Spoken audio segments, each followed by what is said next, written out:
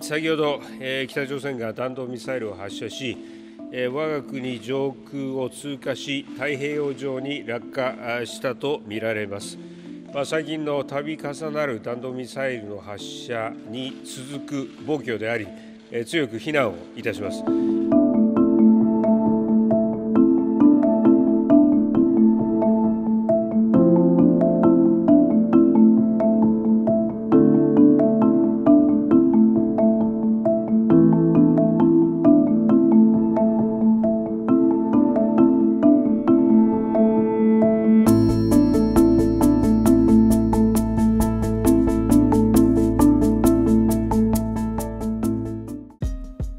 Thanks for watching. If you like this video, check out these other videos from USA Today to stay up to date with all the latest news.